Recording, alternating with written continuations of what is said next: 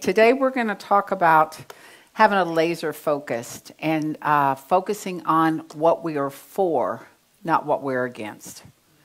And I've been really thinking about this uh, quite a bit in, in, in, different aspects. But then it was so funny. A couple days in a row, I heard this, I heard that same phrase used over and over by different people. We're focusing in on what we're for, not what we're against. And one way to focus in on what we're for is to understand what are we for. Uh, you know, as I was I was thinking about it, you know, I love to uh, think about all kinds of things. I love to think. I love to kind of brainstorm. That's kind of my thing. I love to brainstorm. And I was brainstorming about it, and I began to ask myself, okay, God, what am I for? And the first thing that popped up in my head was, I'm for Jesus, right? I'm for my family. I love my family. Um, you know, I'm for life. I believe in life. Uh, I believe in eternal life. Uh, but then the silliness comes in. I believe in fun. I believe in joy. You know, I'm for happiness. I'm for uh, chocolate covered almonds, dark chocolate only. I know that sounds strange, but when you think about it, we all have opinions, we all have preferences, and we all are for different things and against others. Like some people only like milk chocolate, some people only like dark chocolate. You know, it's, it's what are they for? What's their opinion on it? What's their flavor? What do they like? But the one thing that we have to remember is when we're talking about what we're for, we have to understand what the truth is. And not just our truth, but the truth of the Word.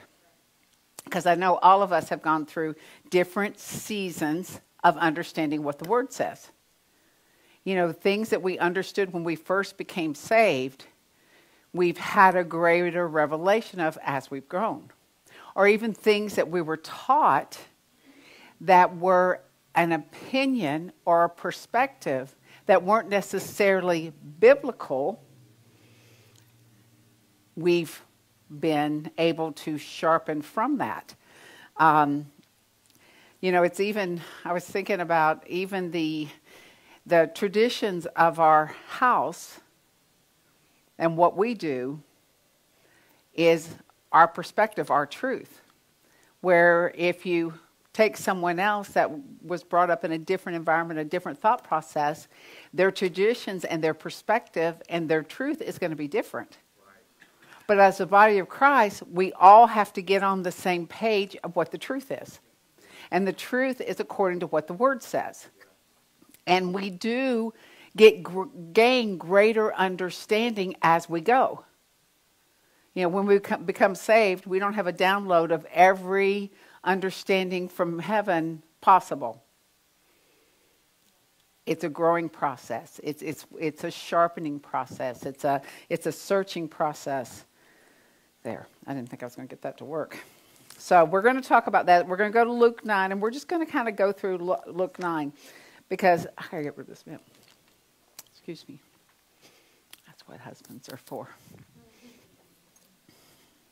I can't talk and eat a mint at the same time. Apparently, that level of coordination has escaped me. But you know, we're going to talk about what does the word say and how does God want to sharpen our understanding? How does He want to? Are there things within what we believe that uh, doesn't include the fullness of what He wants us to believe? Are there things in what we believe that we've forgotten a little portion of it? Are there things in what we believe that God wants us to be assured of, to be confirmed in? And we know that the way that we grow is by reading the Word, being with other people to discern the Word, to listen to the Word, and um, just listening to the presence of God. So we're going to start on uh, Luke 9. We're going to start with just verse 1. And as we go through it, we're just going to pray that God is going to open up our hearts to little nuggets that He wants to deposit in us, little nuggets of truth. So, Father, we just thank you that your word is alive. And when we read the word, it is alive. It's not just ink on paper, it is living. It has breath in it. It has the ability to transform us. It has ability to shift our mind in an instant. It has the ability to feed us and give us the nurturing and the nu- nutrition that we need.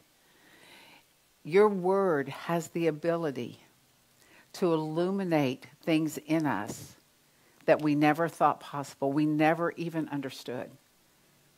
But it's because your word is living, it is breathing, it is uh, tangible. It is, it, you've given us the ability to consume the word and let it permeate who we are. So, God, as we read your word this morning, let life be uh, breathed into us. Let, let truth become part of our very core, the cellular nature of who we are. That when we leave, we, we leave with a, a breath of truth blown into us, Lord. And even as I was praying that, I'm thinking about that Ezekiel 37.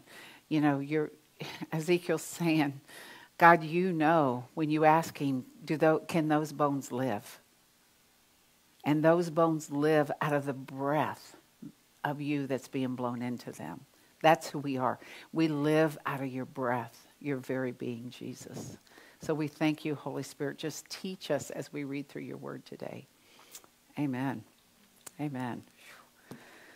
Okay, so Luke 9 1, it says, Now Jesus called together the 12 disciples and gave them the right to exercise power and authority over all the demons and to heal diseases. Then he sent them out on a brief journey to preach the kingdom of God and to perform healing. So the, G, so the disciples have been with Jesus for about a year and a half, maybe two years. I was looking at the date, the timeline on that. And they have been given everything they need to do what they were called to do. Not only were they given the authority of Christ, and it wasn't just a delegated authority. We don't have just the delegated authority. You know, how I can, I can look at Caitlin and say, Caitlin, you know, I give you authority to lead the worship, to re, you know, that's delegated authority. But Jesus gives us the authority. He endues us with his presence. So he gives us the same authority that he carries. And when we have that authority, with it comes his, his, our ability to release his power. So our authority and our ability to release his power is so we can go out and have authority over all the demons. We can heal diseases and we can preach the kingdom of God and perform healing. Now, when we, we're beginning on this, I want y'all to think about is that the truth that exists within me? Now, is it an intellectual truth? Because we've read the word and we understand what it says? Or is it a internal truth? Because we have been endued with power by the Holy Spirit. The Holy Spirit dwells within us. So all authority has been given to us so that we can exercise power over anything that does not align with the kingdom of God sickness, demons, disease. And we have the power to release the kingdom by preaching the gospel. And you may think, well, I'm not a preacher. Sure, you are. You preach every day according to what you do. We understand that so much, uh, the way we are perceived, most of the time comes out, comes out of how we act, not what we say. Because when people see us walk in holiness, people see us walk in pureness, people see us walk in kindness, that is our, that is our thought process. You know, when we speak, we speak whatever's good and whatever's kind and whatever's uh, trustworthy. That's what we speak then people see the kingdom of God being released in us, in our businesses, you know, with our integrity and the way we treat our customers, our clients. So people see the kingdom of God being preached from us by our actions and by our words. And the authority to be able to carry the power and the presence of God is already in us. If you are a believer in Christ, that is in you. So we have the ability to, to heal the sick, to raise the dead, to cast out demons, to cleanse the leopards, to preach the gospel of Christ. That's, that's the power and the authority that we carry in us.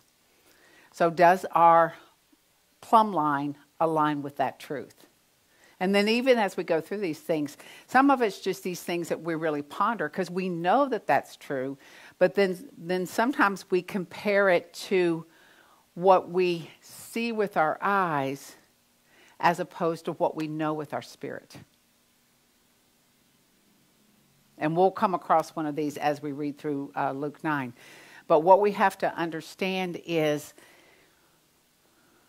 and I, it's all of us, I think it's such a transforming process of us that our minds do not dictate what we believe. It is the Spirit of God leading our spirit that gives us understanding to what we are to believe. Not our intellect. Our intellect helps us process it, but it is the Spirit of God that gives us the revelation of the truth. And that is what the Word says. The Word says the Spirit of God will teach us, it will unfold things of God to us. Uh, the Spirit of God is the one who keeps us on that track of, of what is truth. And part of the process we go through when we become believers is detoxing from the things that are not true, that don't line up with Scripture. We all have to detox. We all have to get rid of those things that aren't the truth so that we can live out of the pureness, the holiness that God has called us to be. Okay? Let's go. Verse uh, 3. He said to them, Take nothing for your journey that might encumber you, neither a walking stick, nor a bag, nor bread, nor money, and do not even have two tunics apiece Whenever you enter a house, stay there until you leave that city to go to another, to go to another. And as for all those who do not welcome you, when you leave that city, shake the dust off your feet, breaking all the ties with them as a testimony against them that they have rejected my message. So they began going from village to village preaching the gospel, and healing the sick everywhere. Now, what does that mean to us? As Christ sends us out, as we are sent out on our journey every single morning when we wake up, we're on a journey. We're on a journey of going in and, and seeing what God has for us.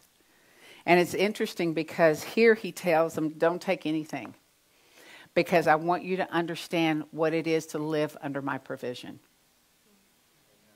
Where you go, the people that will accept you will take care of you. The people who don't, you don't stay there, you move on. So he sent them out with total dependence on what he said to them early, earlier. Everything you need, I've given to you. So don't take anything with you because everything you need. Of course, in the natural mind, we're thinking, you know, I might need my stuff, right? I might need my stuff. I might need some comforts of home, like maybe an extra tunic just in case. Or, or, you know, when we think about that type of thought process, it's hard. But how many of you have had God send you out somewhere that didn't make sense and He wanted you to go minimal and He took care of everything you need. Has anybody had that? I figure there's, there's probably more than, than one. But sometimes it's hard to even, even correlate what this is saying to our everyday life. You know, we get this this image of the disciples heading out taking nothing, and we, we it's hard for us to relate to when God's called us to step out, when we didn't feel like we had what we needed, and He provided everything we needed. And when we do it in that equation, it's easier to say, oh, yes, I remember when. You know, I remember when we did this or when we did that. God wants us to understand this provision journey He has for us. And even if we go without anything, He's given us everything. And it may not be tangible in my purse you know, in my pocket. But when we get to where we need something, there's a supply in some form by Him, whether it's supernatural or natural. Okay, let's keep going. Luke 9, uh, we're going we're to skip over a few verses and start in verse 10. When the apostles returned, they told him all that they had done. He took them with him and he privately withdrew. But when the crowds learned of it, they followed him and he welcomed them. And he began talking to them about the kingdom of God and healing those who needed to be healed. Now the day was ending, and the twelve disciples came and said to him, Send the crowd away so that they may go into the surrounding village and countryside and find lodging and get provisions, because here we are in an isolated place. He said to them, You give them something to eat. They said, We have no more than five loaves and two fish, unless perhaps we go and buy food for all these people. For there were about 5,000 men. And he said to his disciples, Have them sit down to eat in groups of about 50. They did so and had them all sit down. They did so and had them all sit down. He took the five loaves and the two fish, and he looked up to heaven and gave thanks. He blessed them and he broke them and kept giving them to the disciples to set before the crowd. They all ate and were completely satisfied, and the broken pieces which they had left were abundant. Uh, left over were abundant and were picked up, 12 baskets full. So now think about this. You know, we've heard this story. The story is not a new story. We, we talk about the story when we talk about supernatural, when we talk about provision, when we talk about multiplication. But just think about this in the terms of our own lives. There are seasons in our life where we need the multiplication of God supernaturally to be able to provide the next step, to provide for our families, to provide for our businesses you know, to be able to move forward. And it's funny because Jesus tells them, You have it. You have exactly what you need. And it is that bridge between knowing that's Christ in us, knowing that we have all authority, knowing that we have all power, knowing that we have the ability to multiply, to, to do the same thing that Jesus did. And knowing that we have testimonies of that, that we just have to resurrect within us in order to build our faith to step into where God wants us to be. You know, there's, I know that there's been many times for us where, um, and I know I've shared this a little bit a while back, when we had a business that it just the economy had hit and it was just not working. But God took care of our payroll supernaturally. God took care of us being able to pay our bills through multiplication of what we had and hard work. And if we would have sat down and said, okay, God, this is what you need to do in order for us to be able to do what we needed to do, we would have gotten far less than what we got. It's that knowing that that provision is for us in the way that God has planned for us. And you know, when you think about all 5,000 people, I've never had to look at 5,000 people with uh, a little bit of bread and a little bit of fish and say, okay, let's feed everybody. But God wants us to understand the magnitude of our ability to partner with Him for a greater provision. It's the magnitude of it. Where for this, this is hard for us to relate to our day to day because most of us don't have 5,000 people we're trying to feed. I know Deborah has, uh, uh, you know, probably. she, pay, she feeds about 500 a day, right? Yeah, about 500 a day. But, you know, most of us in, in, the, in the smallness of our realm, that's not what we have. But in the greatness of the kingdom, that's what we have access to. And in this supernatural provision, not only did they get fed, but there was more than enough. Not everybody got a little tiny bite. They had more than enough. They were satisfied.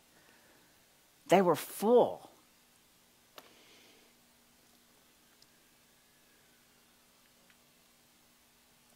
And that's where we have to understand what is our truth in these in these principles that God is teaching.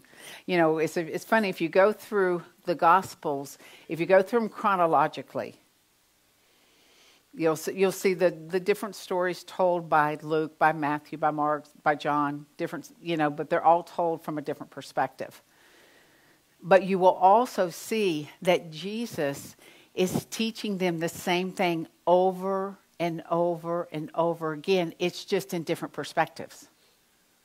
You know, first they fed the 4,000, 5,000, then they fed the 4,000. You know, um, first he sends out the 10, and later on he's going I mean, the 12, but later on he's going to send out the 70. You know, it's the same thing that, that's modeled over and over again. So when we read the scriptures over and over again, what happens is it begins to um, reconfirm what we already know in us. It will, you'll think, I've already read this story, you know, but Matthew has a, John has a version, Luke has a version. But if you continue to read them over and over again, there is a life that is transformed. You know, it's, it's like taking the truth and letting it flush out those little ebbs of unbelief or those little areas where you're like, I'm not sure that that would work for me. I'm not sure that God will do it for them because there's a greater purpose. Sometimes people read the, the scriptures and say, you know, it was for the bigger purpose. Well, for the bigger purpose, but it is for the understanding so we will know how to apply the principles of God, the power of God, the multiplication of God, the transformation of God to our own lives. They aren't these stories that aren't applicable. They aren't these stories that aren't transferable. Because what we see, what we hear, we can duplicate. Can tell there's some thought on this. Okay. Verse 18. Now it happened that Jesus was praying privately, and the disciples went with him and asked, Who does the crowds say that I am? And they answered, John the Baptist, and some say Elisha, but others that one of the ancient prophets has come back to life. And he said to them, But who do you say I am? And, the, and Peter replied, The Christ, the Messiah, the Anointed One. So who do you say he is? And you know, it's just something that we have to continue to wrestle with we may say, well, he is the Christ, he is the Savior, but God wants to unpack the different facets of what does that actually mean? What does that mean in our lives? When we say, Jesus, you are our Savior, you are, you are the Christ, you are the Messiah. We read last week, you know, the wonder of, of, of Jesus, the, the expressed image of the living God. He wants us to engage in the unfolding of this revelation of who He is. He wants us to know Him not just as Savior, not just as the Son of God. And I don't mean just in a, in a slight way, but you mean, but you know, not just as the big description. He wants us to understand him as the one who walks with us, the one who nudges us, the one who keeps us safe. I was reading, um, uh, I think it was Psalms 84 this morning, another Passion Translation, and it, it talks about how he is a, a, a um, like um, it was like a, a wind of a shield wrapped around us, a protector around us, the King of glory. You know, He wants us to understand what it's like to walk in an intimacy with Him the way uh, John and Peter and James did, that, that trio that was so close to Him, that they saw things with Jesus that no one else saw. No one else got to see it. None of the other disciples got to see it. But he wants to show us what is possible with him in the relationship. And these aren't just things that happen, they are actually possibilities, invitations, if you will, for all of us to step into. I mean, what would it be like when you got to heaven and Jesus looked at you and said, You went for it all? You, you, were, you, were, you went after the closest you could get to me. That there were so many things that you were able to take in that no one else was interested in me. It's like having a friend. Do you want a friend that wants to know all about you, good, bad, and ugly? Or do you want a friend that just likes the surface side? I only like you when your hair is done and you've got your jewelry on, you know? Or do you want someone who just goes after all of who you are? Jesus goes after us, after all of who we are, and he wants us to go after all of who he is. He wants those, those aspects of him to be what we hunger for. I hunger for that. I hunger for that. I remember, uh, it's probably been, I don't know, 25 years ago or so uh, maybe about 25, maybe 24, I don't know, something like that. It's been a while. But I remember I told Jesus, I said, I have got to have more. And if I can't have more, then I can't go on. Because I was trying to break out of who someone else told me Jesus was and trying to break into Jesus, who are you as my Savior? Who are you as, as my friend? Who are you as the blood of the Lamb? I was trying to figure out how do I break past all my preconceptions, all my teachings, all my this, that, and the other in order to break into a real, authentic, alive relationship with Him.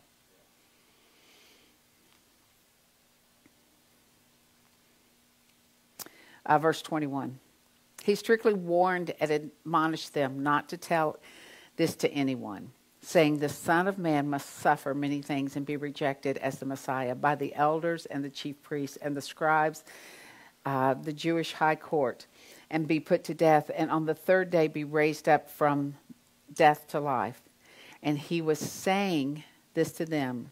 Oh, let me stop there. I want to talk about just 21 22. So he told them not to. Uh, tell anybody that he was the Messiah.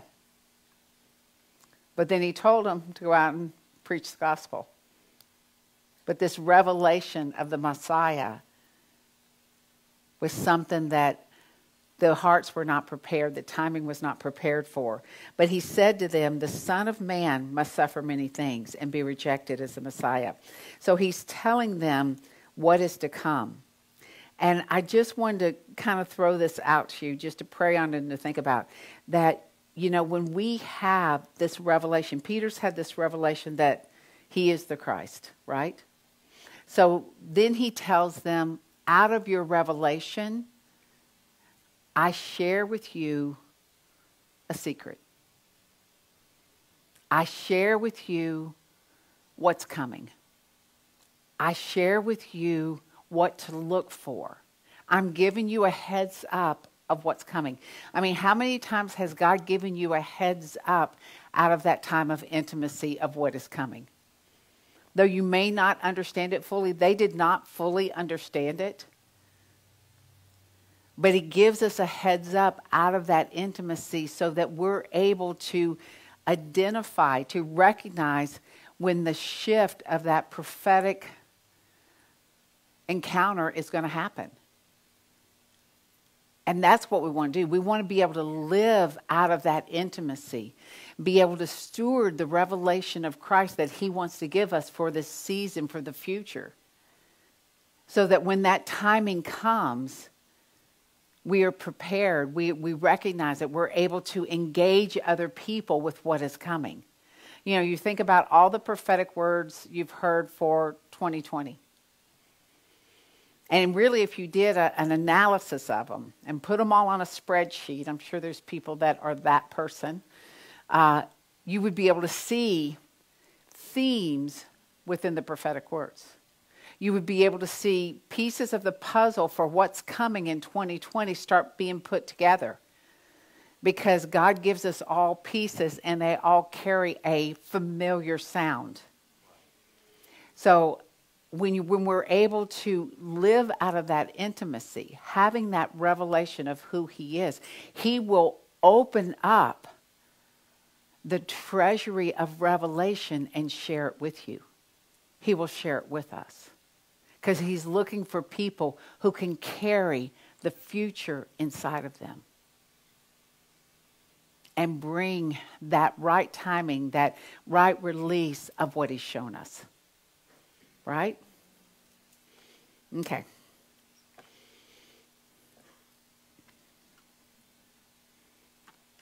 Verse 23. And, he, and he, he was saying to them all, If anyone wishes to follow me as my disciple, he must deny himself, set aside selfish interest, and take up his cross daily, expressing a willingness to endure whatever may come. And following me, believing in me, conforming to me, um, to my example in living and, if need be, suffering or perhaps dying because of the faith in me. For whoever wishes to save his life in this world will eventually lose it through death. But whoever loses his life in this world for my sake, he is the one who will save it from the consequences of sin and separation. For what does it profit a man if he gains the whole world, wealth, fame, success, and loses or forfeits himself? For whoever is ashamed here and now of me and my words, the Son of Man will be ashamed of him when it comes in his glory, when he comes in his glory, and the glory of the heavenly Father and of the holy angels. But I tell you the truth, there are some of you among those standing here who will not taste death before they see the kingdom of God. So, what does that mean? What does it mean to deny ourselves? We all have different thoughts on it, different perspectives on it. But what does Jesus mean when he wants us to deny ourselves? I mean, there's a lot of thought on this, and there's a lot of scripture on this. What does real denial look like? But what he's asking us to do is to follow him. And in that following of him, we will see the things that don't line up with who he's called us to be, with the direction he's called us to be. I mean, think about when you first started to believe, for those who are believers, and where you are now and how you followed Jesus and the transformation it's taken between when you began and where you are now. There's probably a lot of things that you might have entertained that you no longer entertained. There may be a mindset that you have that you didn't have back then. And, and that's probably a guarantee. You don't have the mindset of the kingdom when you're not part of the kingdom people. You might be a good person, you might be a person of integrity, but the mindset of the kingdom comes when the mind of Christ becomes part of you. So we shift in what we are willing to enjoy, what we're willing to entertain, what we're willing to do. All that shifts as we shift in our obedience and our following of Christ. When we follow Christ, it's a whole different vision than when we're following, you know, the guy of Apple or the guy of, you know, Macintosh or some NFL player, whoever it is. But when we follow Christ, our vision becomes very narrow. Our capacity to sin becomes very limited. It doesn't mean we don't sin, it doesn't mean we don't make mistakes. But everything about us becomes aligned as we follow Christ.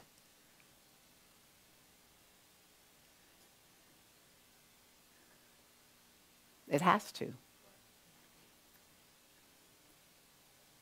Because we can't follow Christ and kill our brother. We can't follow Christ and do all these external things that don't line up with Christ. Now you can say, well, I have done these things. We all, like I said, we've all sinned. Um, but what happens is the more we follow, even just Luke 9, if we just take Luke 9, the more we follow the receiving our authority and the power, living out of that, the more we follow the fact that we've been given the power to preach the gospel and transform the world around us. The more we follow the understanding that everything we needed has been provided for in Christ, the more we stay in tune and aligned with that direction of where Christ has taken us, the more we are able to maintain a narrow focus. And it doesn't mean we're narrow in what we're doing. It just means that our eyes are set on Christ. And everything we do is to bring him honor, to bring him glory, to be transformed, to be more like him. That's what, that's what it means. And the more we do that, then the more we're unable to do other things because our focus, our actions, our directions are totally toward him. That's who we are. We are a focused people who love Jesus. That's who the body is.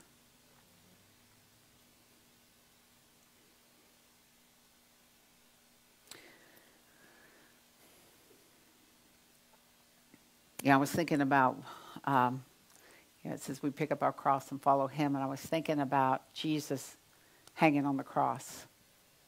And on one side of him was a man hanging on the cross, and then the other side of him, a man hanging on the cross. And Jesus took the path that would give us freedom, would give us eternal life. But one man beside him was repentant. He's like, Can I, can I be with you? The other side was repulsed by who Jesus was. He didn't want any part of it. In fact, he mocked him too. And it's, it's interesting because it's like when he was talking about don't take anything with you, and if they welcome you, then spend time with them. But if they don't, move on from them. Jesus embraced the one who turned to him. Jesus can't force the one who repulsed by his presence to come to him. And that great gift from him for us to choose.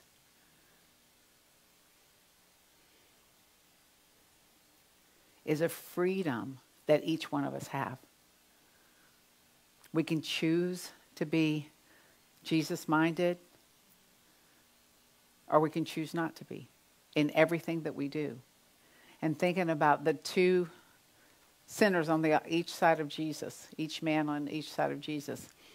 One chose to see who he was, and one chose to join the crowd to reject him. everyone has that freedom of choice. I'm just going to read John 3:16. You don't have to go there, Noah, but let me just read this. We all know the scripture, but I just wanted to read this in, in thought of that. For God so greatly loved and dearly prized the world that he gave his son, his only begotten son, that whoever believes and trusts in him as savior shall not perish, but have eternal life. And then on down it says, whoever believes and has decided to trust him is not judged. But the one who does not believe and rejects him as personal Savior is already judged. Because he did not believe, because he has not believed and trusted in the name of the Lord, uh, of the only begotten Son. You know, as we think about this, what are we for? And being people of Christ, we've got to be for Jesus. We've got to be for what He has presented to us. And even though there are so many things we don't understand, I mean, you can read through the Bible and like be like, I just don't get that. I'm not really sure what that means. And you can read every commentary, and honestly, I can tell you, there can be commentaries that completely are opposite of the other commentary. It just depends on who wrote it, you know, what their background is, what their core belief is. Um, you know, so you can read one and be like, oh, and you read the other one, it's like, oh, it's just the opposite of what that one says. So part of that believing is just pressing in to the fullness of the word, being part of a body, a, a body that you can learn together and think through things together. And it doesn't mean you'll get an answer at the end of the day that you've got it all figured out. So here's the map for this one thing. But we know that there is one answer, and the one answer is Jesus. We know that there is one way, and the one way is Jesus. We know that there is one Father, there is one Son, and there is one Holy Spirit that are all God in one. I mean, there are things that are not unclear. It's just a matter of seeking the revelation for it. I mean, probably most of us, when we accepted Christ, we didn't say, you know, I fully understand how this all works, how you came down from heaven. I feel, fully understand how the blood covered it all. I fully understand that. What happened was his spirit grabbed a hold of our spirit and gave us the revelation that he is Savior, even though we may not have been able to have the full, you know, we couldn't have written a thesis on it, right? We couldn't have written a paper on it. We just knew that we had been transformed in some way. And living out of that transformation every single day in order to have this narrow vision of Christ alone. This narrow thought of if he takes a step, I'm taking a step. Yeah, it's funny. We uh, I mentioned our um, what do you what did we do last week? The miracle service, and you know it's interesting because that is something that the Lord called us to do, uh, with no real understanding of what it is. I mean, I know what a miracle is, and um, but he said, I want you to do this. I want you to do this revival experiment. And every time you come, I want you to wait on me.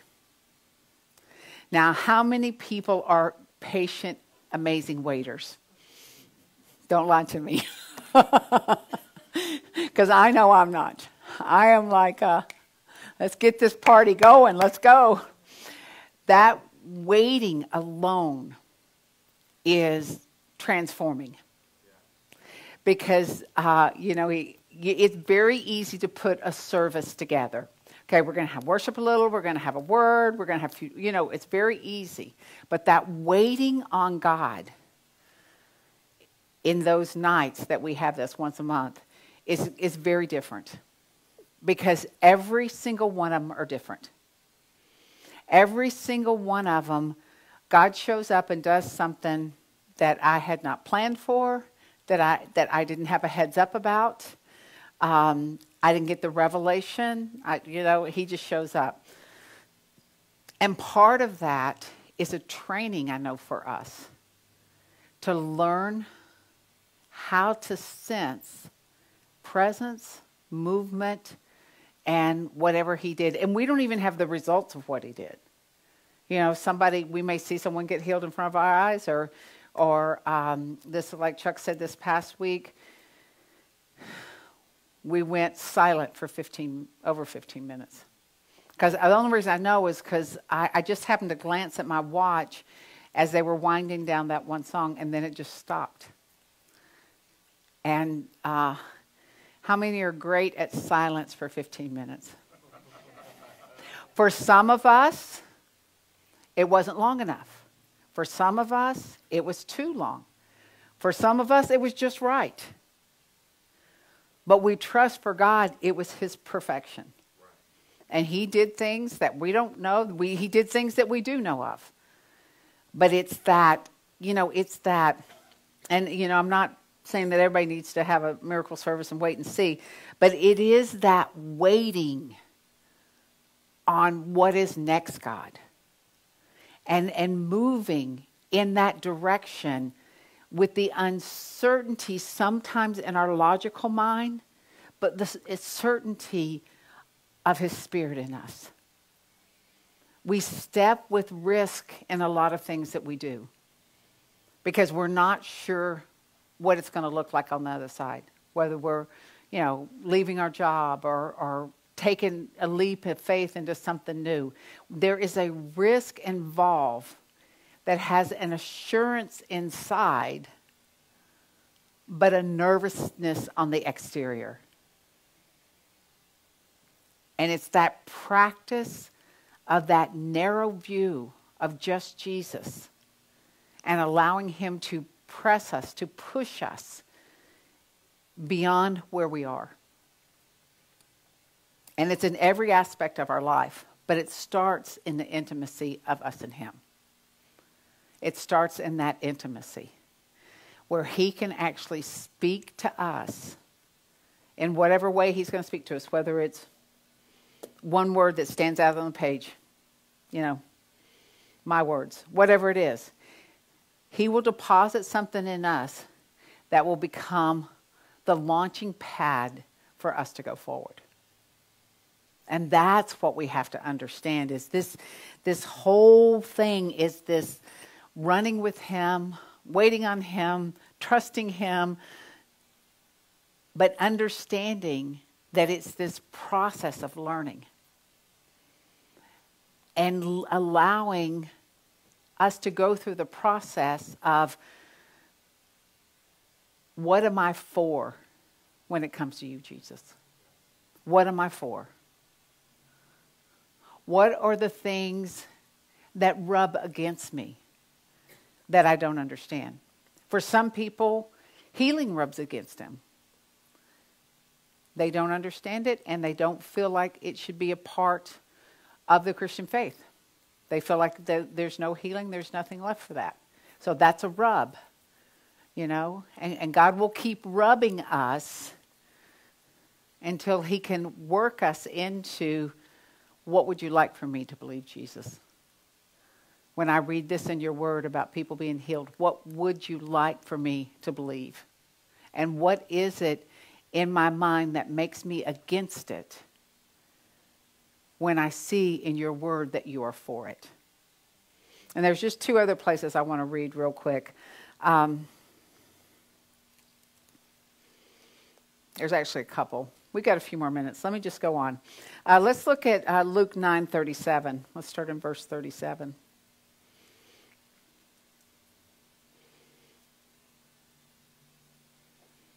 They've just gone through the transformation, transfiguration, where uh, they've had an encounter with Jesus, with Elijah, with Moses, with the Father, and um, I always find that that very interesting. I, I love reading that. I'm going to start in verse 35 now that I've said that. At the end of the whole encounter, it says, Then a voice came out of the cloud saying, This is my beloved Son, my chosen one. Listen and obey and yield to him.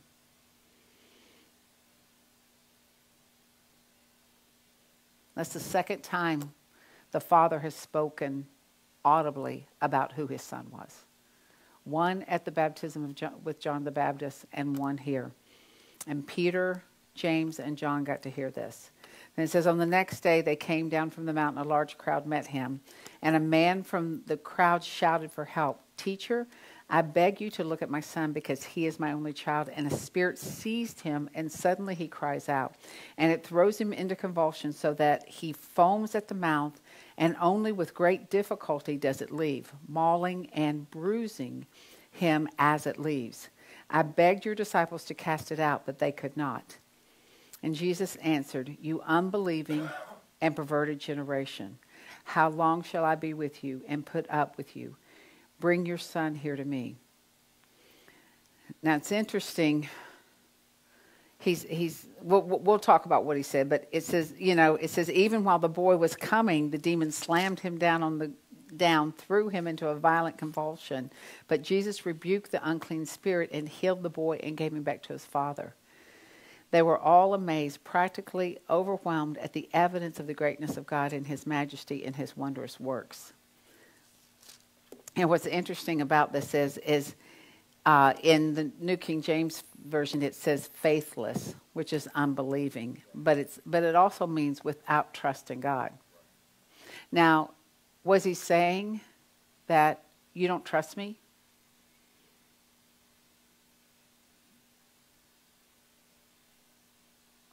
It's interesting when you think about it because, or when you, you know, read on about it, is he's saying that in this instance, there is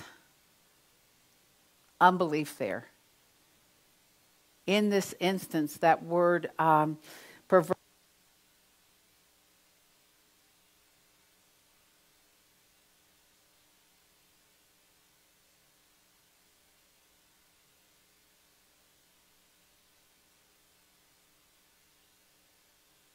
he's okay. So that unbelieving and that perverse when you you've got unbelieving without trusting God, and the perverse means that it's distorted. It's opposite. It's a it's a, it's a plot against the purposes and plans of God. That's what the interlinear says about the words. And when you think about putting those two together, it's without belief. It's without trust. It's, it's a distortion of what God's plan and purposes were for this boy. Now,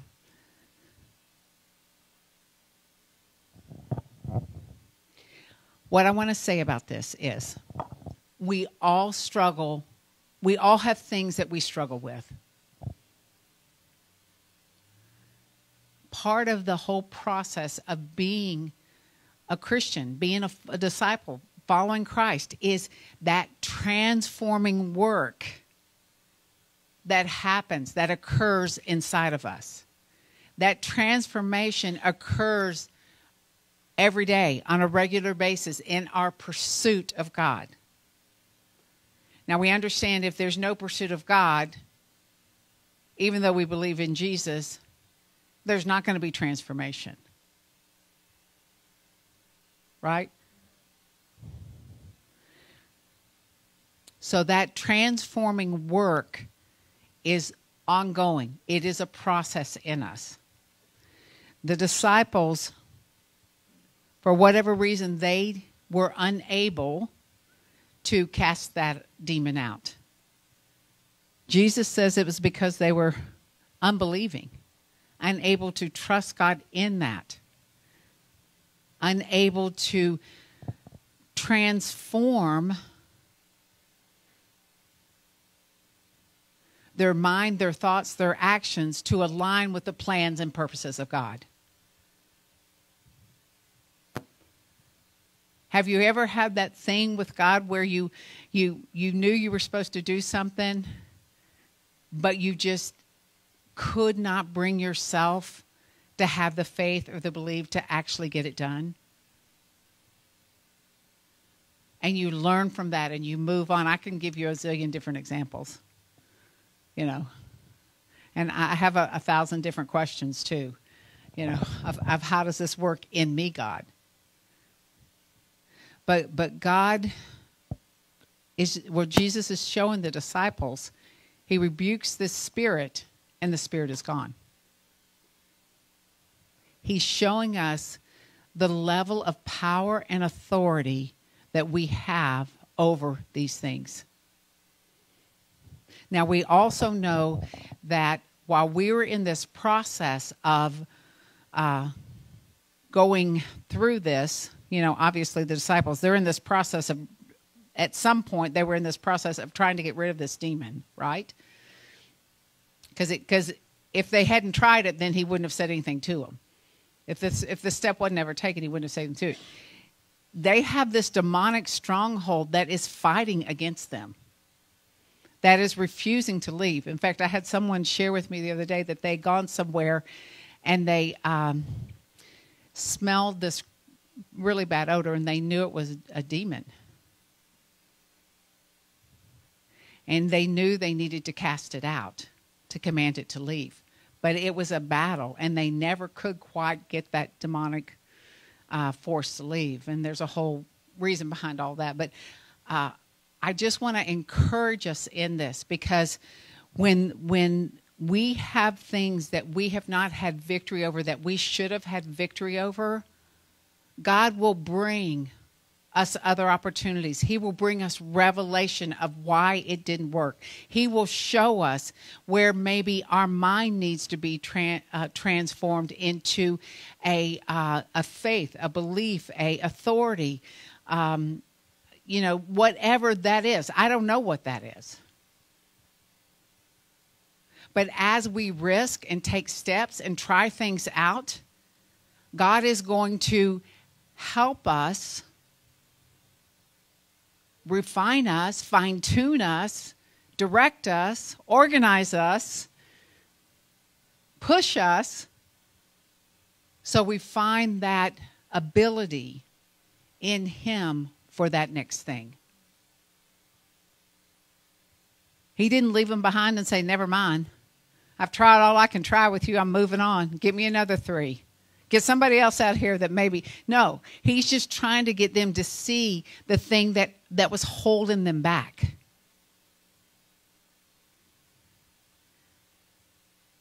He doesn't get tired of us or worn out by us. He just wants to have us to have his best and to get rid of anything that keeps us from receiving that best so we can release his best. And that's what I love about Jesus. He's just drawing us in for the more. He's drawing us in, you know, we for the buffet, for all that there is. We can start in the appetizers and go all the way through the dessert. He's given us the more. Everything that he has, we can have. We're just learning how to use it. We're learning how to operate in it. We're learning how to move in it because He has it all for us. Nothing excluded, nothing held back, nothing dangled but never given. He's given it all. And all of us have the freedom to have it all when we choose Him. Amen? It's true. I love it. He wants to change our vision. So I just want to close with this this one little um, section out of Acts 10:38, and I didn't give this to Noah, but just, I just want to read it. It says, Jesus of Nazareth was anointed by God with the Holy Spirit and with great power. Now, when it says that, as Jesus of Nazareth was anointed by God with the Holy Spirit and with great power, that's what he's given to us. We've been anointed by Christ through the Holy Spirit with great power to do the things that God has set forth for us to do. That should give us some boom.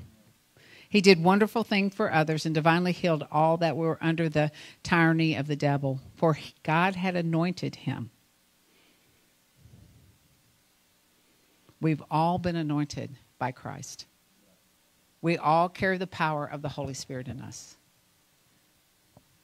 So, part of our process as we go is letting God rewrite things within us that we haven't understood from what He's told us, from what we haven't received fully in what the Word says. Just receiving all that He's given to us. Okay, let's let's stand. I want to pray over us.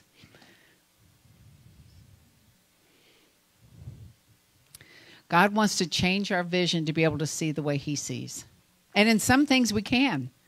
And then some things He's still working on us. But it's that laser focus on God. What in your word, what in all that you've demonstrated, what is sealed that I am for, that I know, that I have, uh, have it just bound in my spirit? And what are those things that I'm against, that are misperceived, that are misperceptions, that are lack of understanding, lack of clarity? God, we want this filtering system through us.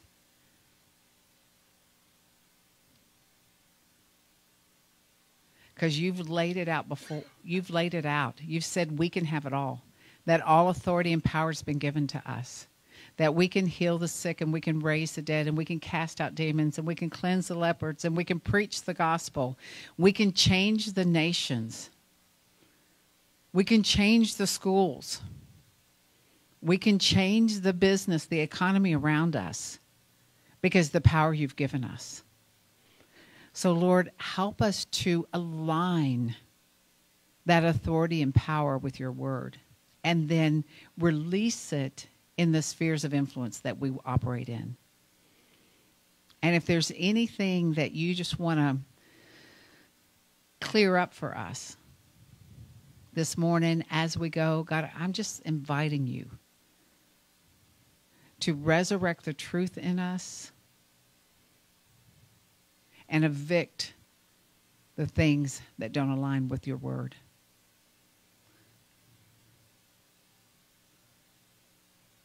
Lord, I thank you that we're a people of power.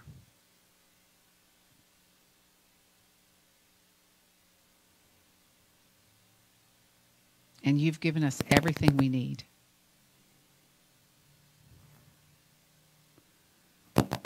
And whether it's all packed in our car or we go out empty handed, we will have everything that we need.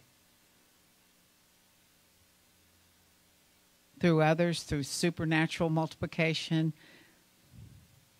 we'll have everything that we need.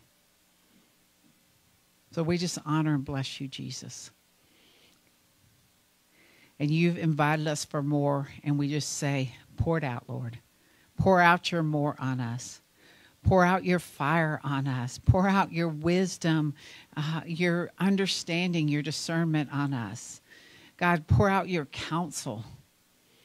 Just pour it out on us. We just thank you, Jesus. Amen. Amen. Thank you, God. Okay, if you'd like prayer, we'd be glad to pray for you today. And uh, it's going to be an awesome week, so expect. Expect the awesomeness of God.